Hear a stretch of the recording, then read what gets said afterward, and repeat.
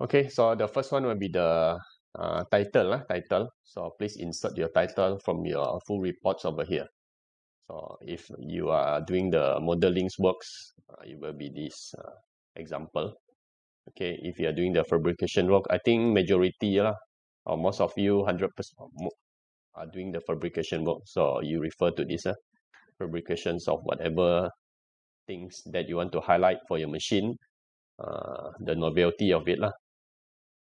And then your intended user towards the end. Okay, so I think that one shouldn't be a big problem for you lah. Ha? Tidak ada menjadi masalah yang besar. Second one yang anda perlu masuk adalah uh, author. Okay, anda sebagai penulis. Jadi anda masukkan nama anda dan uh, group members anda di dalam. Dan nama yang terakhir itu masukkan nama penyelia. Nama penyelia itu boleh masuk ke nama yang terakhir sebagai author dia. So uh, huruf besar eh, huruf besar ini.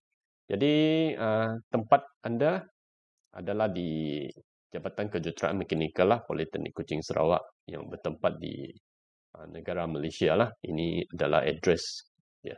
Dan uh, yang ada star ni depan ini adalah corresponding author. Jadi corresponding author ini uh, boleh letaklah email anda, email anda boleh letaklah di sini. Jadi mohon berbuat demikian. Uh, yang ini juga very straightforward. Uh, jangan ubah. Make sure dia adalah uh, capital, capital uppercase lah, uppercase. So mohon berbuat demikian dalam masa 2 minit. Okay, isikan info-info ini, masukkan group member anda dan nama penyelia anda dekat dalam.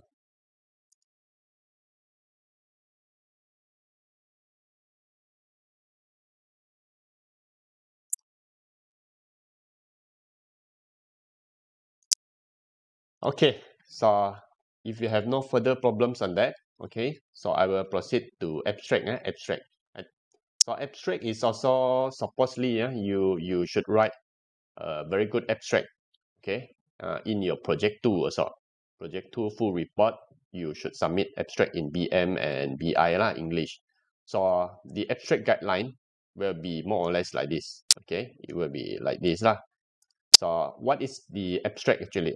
Abstract is actually uh, when they read one paragraph of your abstract is the advertisement of your article. Okay, a very clear abstract lah is actually needed because uh, once you read the abstract, if you find it interesting, okay, uh, it's uh, actually readable and understandable, then only you will continue reading the content of your uh, manuscript or your report itself. Okay, that's why uh, writing an abstract should consist of all the elements lah, from A to Z. So starting with your introduction and your problems, you go to the methods and so on. So a one whole paragraph is all, it will consist of everything there. So you need to ensure that uh, your abstract is uh, have all the elements that uh, are required. Huh?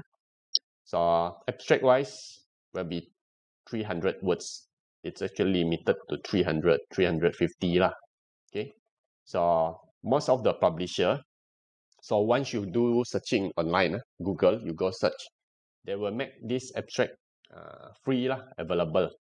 Okay. That means free access. So you're able to read through. So if you find that you, you have some interest in the content through the abstract, then only you will purchase that paper. Okay, of course, this JoSSTEd uh, is an open access journal which means that you tak perlu bayar.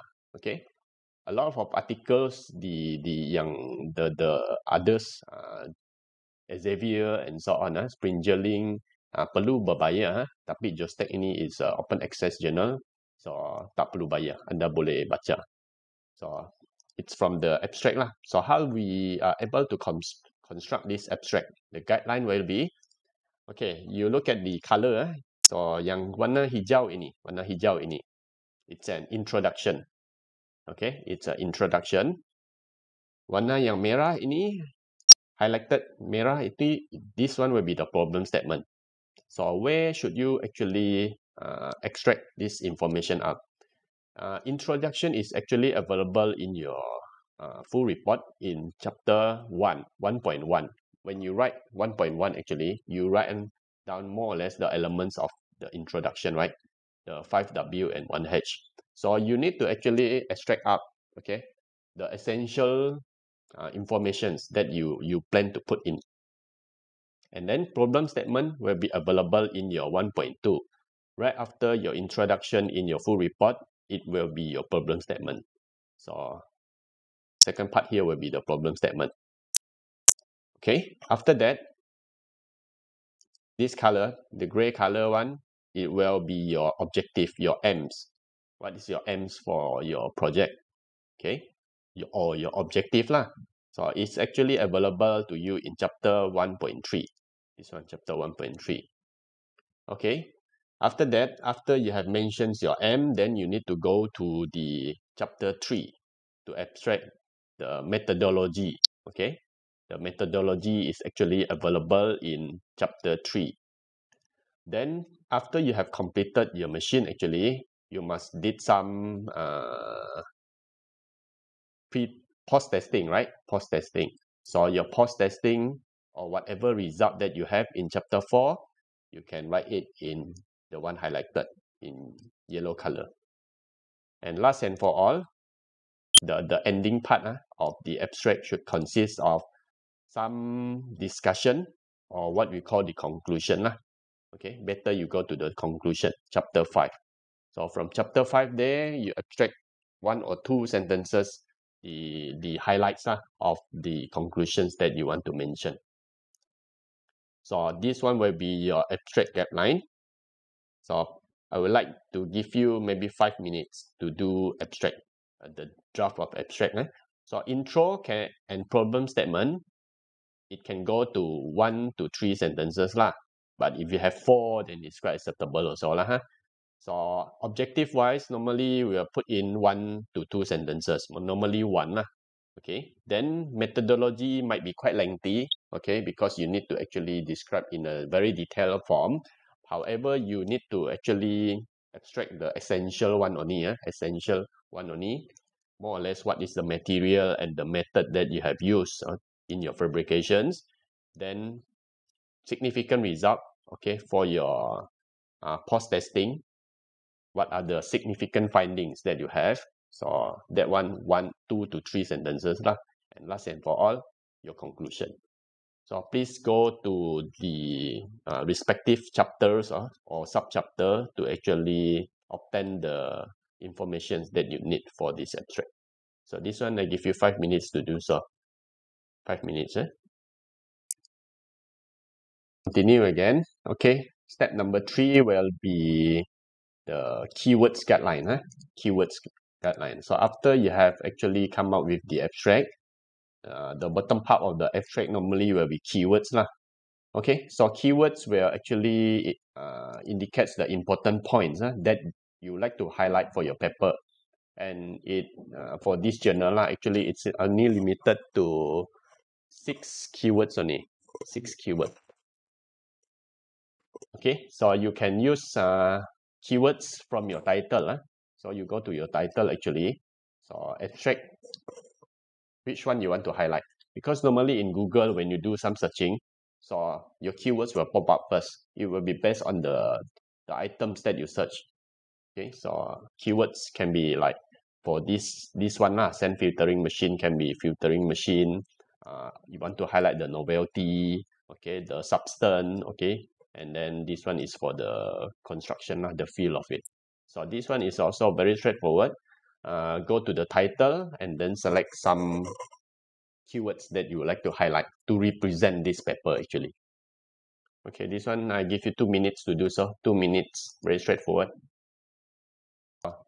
We are halfway already because we only have app step, right? So now we are in step number four. Huh? Step number four. So right after you have construct the first page, then you will go to introduction. Okay.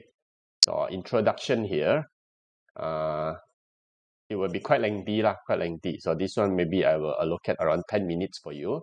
So what you really need to come up in this introduction, okay? So for this introduction, as you see, this one is the uh, example. On my right hand side is the example. So the guideline, your guideline is only this one.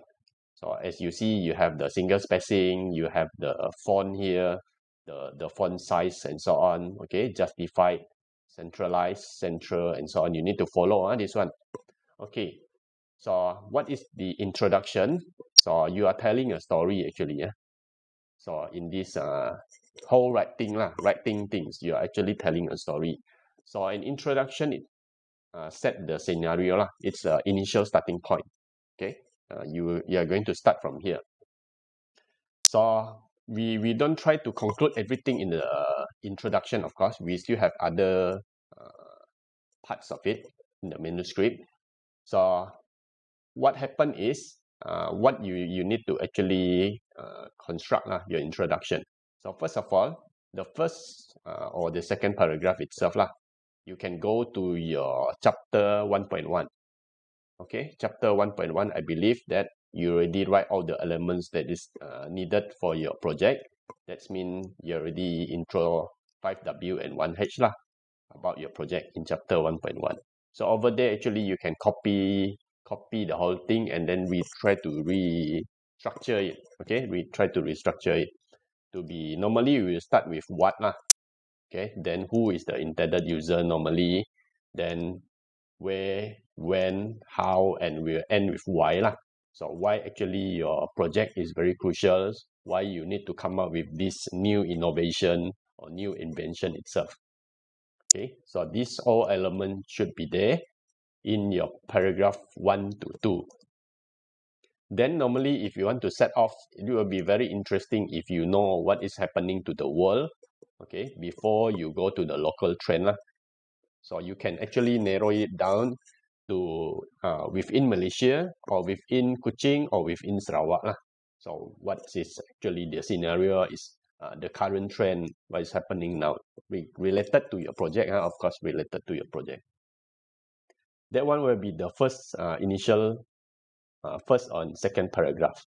Okay? Then after that after that uh, you need to go to your chapter 2 in your chapter 2 actually you you did the literature review for your project. So over there you go extract uh, whatever history related to that project okay? The method which is av available the design which is av available okay? The literature about the essential component for the uh, control system writer and you have all the modern method and so on. So everything in chapter 2 there you should you, you can consider actually extracting that information to put in into paragraph 3 to 4 3 to 4 okay last and for all to end this introduction normally we will go to problem statement again okay? So you go back to your problem statement again and then you extract the background okay? How do you describe the problems that you want to solve for this project? Then set up your objective okay? Set up your objective and you end with scope and limitation scope and limitation there so uh, for this uh, introduction, if you plan to put in any figures, feel free to do so. Eh? Feel free to do so. But of course, you need to put in your figures with caption. Okay, put in your figures with caption, and that particular figure must be referred to in your explanation here. Okay, or if you want to put in any table, if you have any data, okay, any figures, any tables, feel free to insert also in your introduction uh, but this table must be referred to lah. Okay, you must refer to this table in your explanation in that uh, introduction section. Okay, so you can see this one on my left hand side is the guideline. So on my right hand side here will be the uh, example lah. It might not be the best, but at least serve some guideline for you, some uh, example for you lah to have a look. So you can scan this one through and then try to go to the respective uh, chapter and extract the information. For this one, I give you 10 minutes, eh? 10 minutes to do so.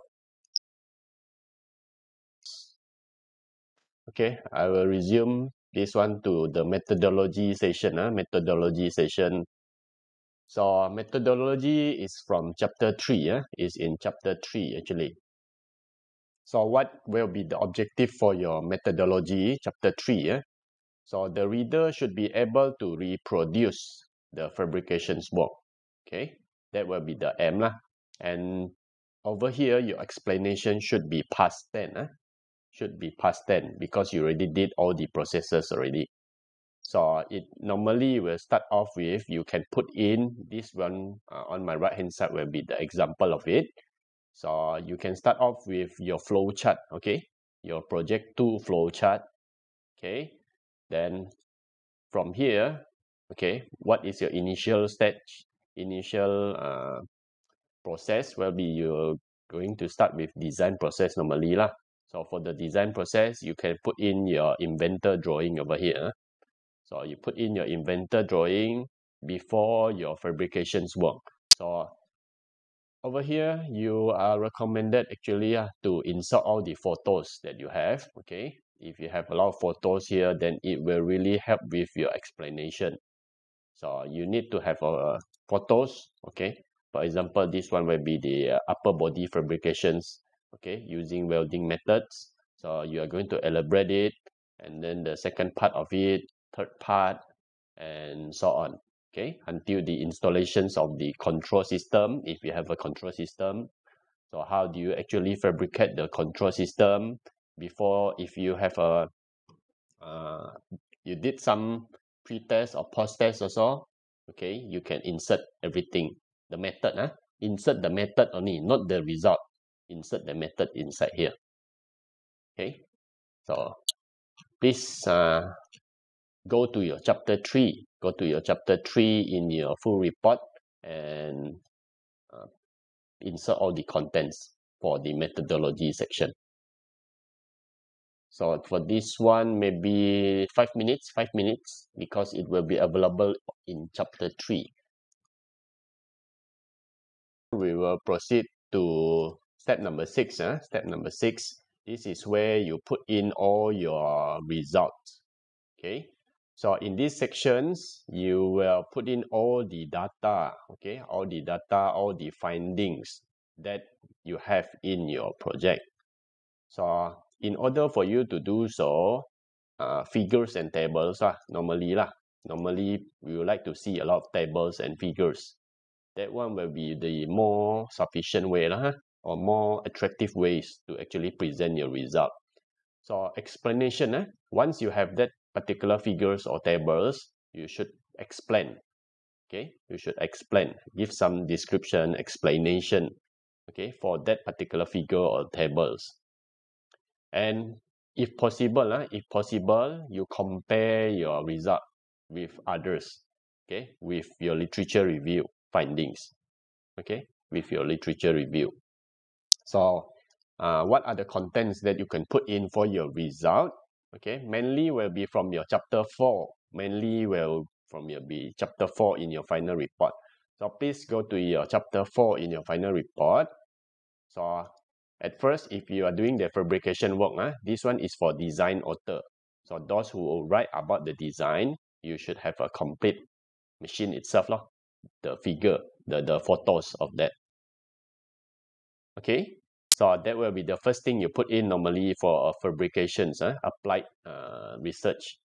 So the, the machine itself, then you need to explain. Uh, this one is for control system author. You should have this explanation regarding the machine itself. Okay, regarding the machine. How do you actually operate your machine? Operation of the machine. Uh? So you can use arrow, you can use whatever uh, text form to actually uh, embed to together with your figures eh, to, to enhance your presentation here. So for those who write author for pre-testing or post-testing, uh, you must did some pre-test and post-test. Therefore, as been mentioned before this, you should have some graph, some pie chart or for the survey, uh, survey that you did already, you must have some pie chart and so on. So please present your data in this result section. So of course, you can put in table also. Table is for your cost, eh? your cost. So your cost put in uh, in a table form and then you need to explain, uh, explain, give some brief explanation on the uh, table one here, for example. Okay, so the this will be the examples of the uh, content, okay, the informations that you can insert inside this step number six. Okay, step number six result. So please go to your chapter four, uh, chapter four. So another example for you, as you can see, this one is the completed machine. Okay, then how's the operations of that particular machine? Okay, so the process of it. Okay, how do you actually operate that machines? Okay, you insert the raw material, whatever substance of interest. Then what are the processes and the uh, final outcome itself? Okay, final outcome. Then if you are able to compare it with your literature review, it will be better. Uh, make a comparison with the machine which is available in the market. So you make a table of it, then you explain the, the, the table and you should have a cost itself. Uh. So the cost you put in in a table also, then you explain, uh, give some brief explanations for the cost. So that will be the content for your uh, result okay result section so chapter 4 uh, it will be available in your chapter 4 so please go to your chapter 4 and do so in 5 minutes please 5 minutes. I should proceed. Okay so we are in step number 7 okay then we will end with step number 8 step number 8 uh, it's very straightforward. If you are using the uh, tools which is given to you lah which is in your words or you are using Mendeley even better lah or you are using EndNotes okay? Okay never mind we'll go to step number seven first. Step number seven is the conclusions so what you need to uh, reiterate in your conclusions uh, conclusions here you need to actually give the significant findings okay significant findings and you should include the contribution uh, contributions of your project. So normally this one will be available in your chapter 5 because in your chapter 5 you also make a conclusions, right? Okay, so the first thing that you need to ask yourself will be, have you achieved your objective? So your your first objective will be always to fabricate whatever machine, right? So that one I think most of you lah uh, will be you have these sentences here the objective of this project is successfully achieved okay as the fabrications of whatever whatever machines have been produced so that went very straightforward then second one you need to actually reiterate your significant findings what are the result that you already obtained eh? okay the result that you already obtained in your chapter 4 the significant one that you want to highlight so put in here and last and for all, we will end this uh, conclusion session with your suggestion. Okay, normally you will put in suggestion. So suggestions also, it will be available in your chapter 5, right? Chapter 5, the last section of your report, you should give some suggestions on how do you actually in, in the future can improve your uh, machine, your, your project. So whatever uh, suggestions that you give for future experiment or project lah, so put in over here. Okay, so please uh, do so uh, in three minutes maybe, listen three minutes. Okay, so you can look at the example of the sentences uh, over here. Okay, and then uh, follow this guideline. Huh? First, answer your objective. Second one, reiterate your significant findings. And last and for all, give a suggestions. you can give a few suggestions, eh? not only limited to one, uh, two to two to three suggestions.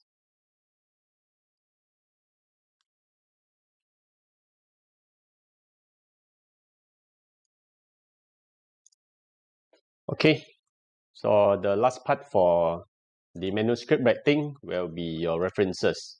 So references, as I mentioned before, uh, we are going to use APA, uh, APA style. Okay. So if you are using words uh, it will be available over here. So if in Mendeley Mendeley have a different uh, uh, also the almost the same lah, huh? just you go to select the citation style as APA so ensure that uh, you have all the references that you use in this manuscript huh? especially in uh, introduction section okay if in the methodology sessions you have some uh, citations or during your result section when you present your result here so if you have some uh, citations here okay the source so make sure that you have insert it inside it as your references. So the the most tedious part will be this one normally okay? You need to ensure that you will follow the APA style APA style. APA style with the author come first then you have the year then you have the titles okay? Then of course you need to provide the URL so if you want to do this one manually it will be quite tedious lah okay so please uh, utilize whatever software that which is available and ensure that uh, it's a single spacing uh, single spacing.